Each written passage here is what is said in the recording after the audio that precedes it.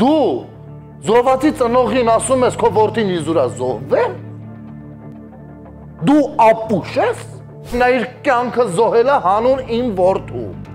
Հանին հանուն իմ դստեր։ Սենց եք պատրաստ ապրել արժե զրկելով իրենց շիրիմները։ Քանի անգամ է Ռոբերտ Քոչարյանը ասել հետեւյալ արտահայտությունը, մոտավորապես գոնե մեր հայ ազգը։ Այս падգամավորներին, ովքեր համարում են դա ազատ խոսք։ Ուրեմն ես օգտվում եմ իմ ազատ խոսքի իրավունքից ու ասում եմ.